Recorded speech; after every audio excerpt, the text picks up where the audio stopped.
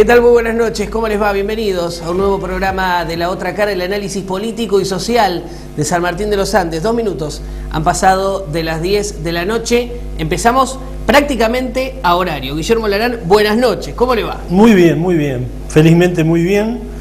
Mucha, mucha repercusión del programa anterior, mucha gente que nos ha arrimado documentación, que se han este, interesado en el tema, así que una semana muy positiva. Eh, tanta repercusión ha tenido no solamente hacia afuera, sino que también hacia adentro y tanto interés ha generado este tema que vamos a hablar en algunos minutos nada más. Eh, es por eso que hoy el programa va a estar prácticamente dedicado a distintas cuestiones que tienen que ver con, por un lado, investigaciones que, o, información que surge a través del trabajo de, de producción del programa. Vamos, tenemos un nuevo capítulo no llegamos el martes pasado a partir de la entrevista con los integrantes de la comunidad curruinca, no llegamos al nuevo capítulo del Pirata del Chapelco. El Pirata del Chapelco, Así que vamos a estar hablando. Sí, sí, sigue haciendo de las suyas. Eh, incluso hay novedades, porque hay una denuncia formal ingresada a través de mesa de entrada del municipio, eh, dirigida al intendente Juan Carlos Fernández, también con copia al Consejo Deliberante. Eh, hace hincapié en el artículo 72 de la Carta Orgánica. Hemos traído la Carta Orgánica también. Es interesante a veces repasar, releer, estar atento a o atentos a distintas cuestiones que, que están aquí justamente en el libro que tiene las ordenanzas, las leyes que regulan el funcionamiento o el normal funcionamiento de, la ciudad. Vamos a estar hablando de esto, qué puede llegar a pasar. Nieves del Chapelco pidió que se corra, en realidad que se le haga un sumario administrativo al secretario de Gobierno, Guillermo Carnaghi, a partir de la situación que ya conocemos, la hemos graficado a través del programa, los locales irregulares, ilegales, como usted quiera llamarlo, la base del Cerro Chapelco, pero mientras se realice el sumario administrativo, lo que piden es que se corra del cargo al secretario de gobierno. El intendente ha respondido ante esta situación, sabemos que hubo algunos eh, pedidos en realidad envío de información a la asesoría letrada del municipio. Y esta es la nota que publicábamos esta mañana en la otra cara digital en donde se da cuenta, y vamos a estar hablando de esto, porque allí está la nota ingresada, incluso la fotografía al municipio, en donde Nieves del Chapelco, la empresa concesionaria del cerro, le pide al intendente Fernández que lo corra a Guillermo Carnaghi de su cargo por este reconocimiento público que ha hecho, nosotros lo escuchamos hace algunos días aquí en, en el programa también, eh, de que uno de los locales de la base del cerro, era algo que se conocía, pero aparentemente esta situación eh, da la sensación de impunidad, ¿no? Da, la impresión de, impunidad de ciertas personas a la hora de hablar del, cumplimiento de las leyes, tema que tanto venimos hablando en, en el programa. Vamos a estar hablando de otras cuestiones, la actualidad política, lo que se viene, pero yo decía recién, hoy no tenemos invitados, pero es porque tenemos, hemos desplegado el arsenal de, información sobre la mesa. Eh, vamos a estar hablando de distintas cosas junto a, Guillermo. Y decía, tanta repercusión y tanto interés incluso eh, existía desde la producción del programa, particularmente también de, Guillermo, que es... Eh, no sé si decir un fanático, pero una persona que, permanentemente eh, eh, hace referencia a situaciones de la historia y demás. En la semana pasada, en el diálogo con la representante de la comunidad curruinca, con la Huerquén, em, estamos hablando de María Angélica Villa, que estuvo aquí en, prácticamente durante todo el transcurso del programa, surgió, surgió en el diálogo, la entrevista, la situación de la campaña del desierto y el análisis que se hace que se ha hecho eh, de la historia argentina, principalmente enfocada en la campaña del desierto. Así que vamos a comenzar el programa de esta manera, vamos a retrotraernos algunos varios años, allí por 1879, y, vamos a comenzar a hablar, Guillermo, si te parece, como para comenzar el, programa, de, lo que fue la campaña, la campaña del desierto. Eh, la semana pasada, en, en una GAF, este, confundimos las fechas con, este, con la Revolución Francesa. ¿eh?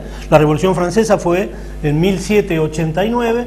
En un momento yo hablo de la, de la conquista del desierto como 1789 era 1879, la generación de, del 80 eh, y demás. Así que aclarado ese tema, 1789 la Revolución Francesa, 1879 es el momento este, más importante porque la, conquista fue desde el año 1878 hasta, eh, hasta el año 1885 que es donde termina. Se toma 1879 como este, el punto culmine de, Roca, este, avanzando sobre, sobre estas tierras.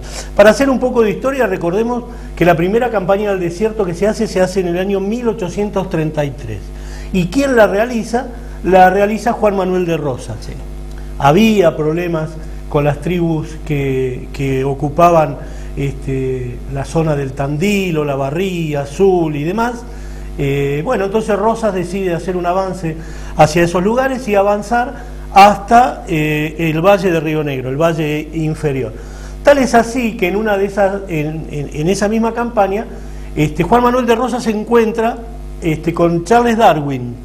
Darwin, el, naturista, el científico inglés, estaba recorriendo todo América, luego pasó, este, pasó por Argentina, fue a Chile, pasó por, Galápagos, este, y una gran, este, una gran suerte eh, que Darwin cuando cruza a Chile habla con, la élite este, chilena y le preguntan diversas cosas y dice que la, Patagonia en realidad es un páramo que no tiene sentido, que no hay producción, que no hay animales, que no hay vegetales Toda esta información que Darwin le cuenta a la élite chilena, entre otras cosas, sirve para determinar hacia dónde iba a invadir Chile. Se invadía hacia Argentina y estas consideraciones de Charles Darwin le sirvieron para avanzar sobre eh, el norte de la zona de, La Puna, este, de Atacama, Arica, y bueno, y ahí se produce la guerra del Pacífico, donde este, Chile toma territorios de Bolivia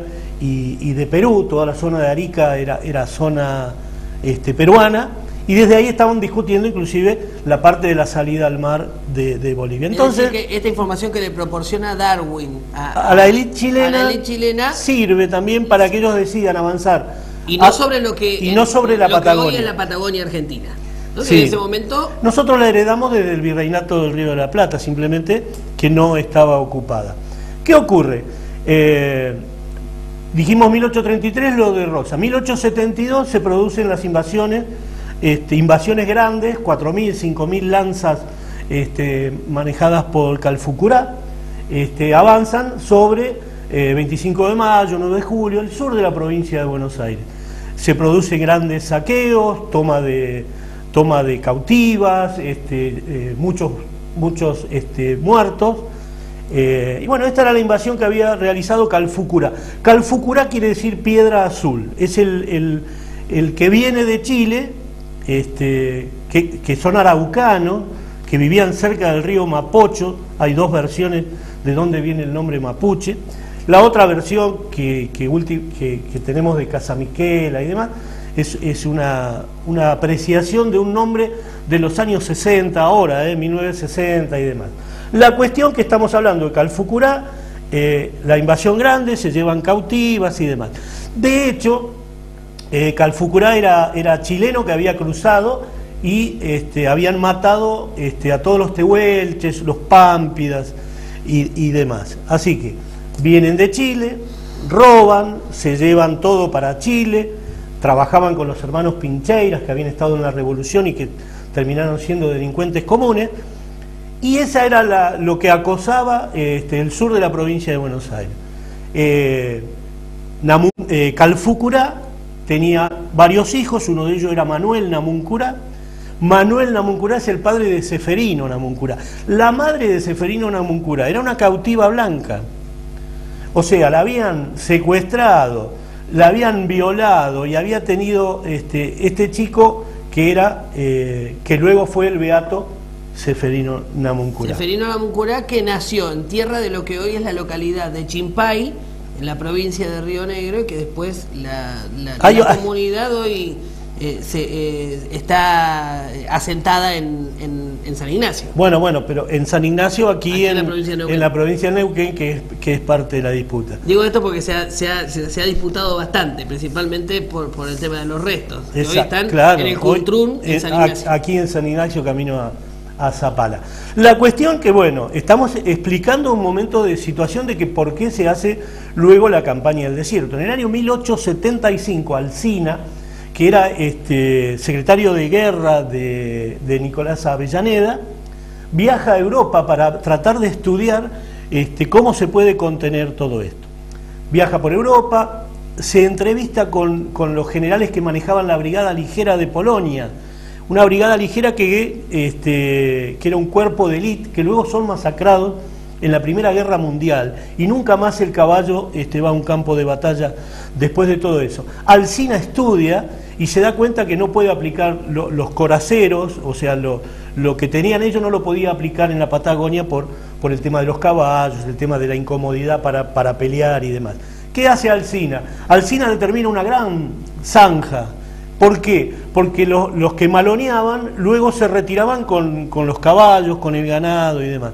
Entonces, Alcina, para, para hacer una contraofensiva, hace esta zanja que tenía unos 2 metros, este, 3 de ancho y era de 200 kilómetros, que era lo que impedía que la indiada cuando se iba para Chile este, entorpeciera este, todo ese momento. Esa fue la primera medida que se toma este, cuando toma Alcina la, la, famosa zanja. Es como el primer antecedente, es como el primer de de Rosas, el primer antecedente de lo que va a ser después la campaña del desierto. Rosas, ¿qué hacía? Rosas los contenía y los compraba a los indios que había para que no dejaran venir a, los que venían de Chile. Entonces les daba tabaco, eh, aguardiente, este, ganado, hierba, azúcar.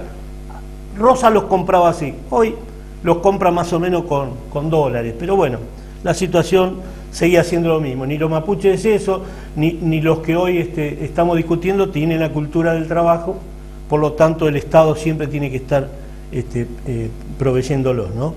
Eh, luego muere, en 1878, muere Alcina y Roca toma el Ministerio de Guerra y decide, a través de la ley 947, o sea que hay una ley que el gobierno nacional firma para poner las fronteras sobre llegar, no solo avanzar sobre el sur de la provincia de Buenos Aires, sino llegar a la línea del río, de, Río Negro, que es el, lugar donde viene la campaña. Una parte eh, se divide en, cuatro lugares, una parte viene por, este, por el norte de Neuquén y demás, y luego este, se, se producen enfrentamientos, indudablemente, eh, hay muertos, de los dos lados, hay, hay cautivos, este, o sea, una etapa eh, que a partir de ahí, la Argentina, a partir de 1880, la generación de 1880, este, toma y forma parte a partir de la conquista del desierto de un proyecto nacional. Entonces, ¿cuál es la conclusión? Por lo menos para mí, y, por todo lo que he leído, lo que he estudiado y lo que yo creo. Eh, había una situación en donde peligraba la Patagonia, había intereses de Inglaterra, de Francia, de Chile, que querían este, tomar el, territorio nuestro. El, ejército argentino, a través de Julio Roca y, los este, oficiales que hicieron esa historia, reivindicaron nuestro, nuestro lugar y nuestra soberanía. Y hoy en día, lo que estamos disfrutando aquí en San Martín de los Andes y en toda la Patagonia, es gracias a este ejército argentino. Así que eh, los mapuches eh, en esa denominación son del Mapocho, son de Chile, eh, ocuparon y mataron y masacraron a los tehuelches y ellos luego se quedaron con eso. Pero de ahí viene en que nosotros sostenemos que no son dueños de la tierra porque no vienen de acá. Cuando la Constitución habla de, de los pueblos preexistentes, nunca lo nombran a los mapuches. ¿Por qué? Porque vos tenías los huiliches. ¿Qué eran los huiliches? Los del oeste, los che de, huiliche. Tenías los pehuenches, que era la gente del Pehuen, que estaban en el norte de, nuestra, de nuestra provincia. Tenía los picunches, que eran los che del norte, los del picún. Este, en ningún libro de, historia se refieren a ellos con estos términos, sino como tribus este, que venían de, la Araucanía, cruzaban de Chile, robaban y se iban. Así que esto es parte de, de, la historia real. La gente tiene eslogans, este, no, estudia, no se, prepara, hay que leer, hay que estudiar, este, estos temas se pueden discutir.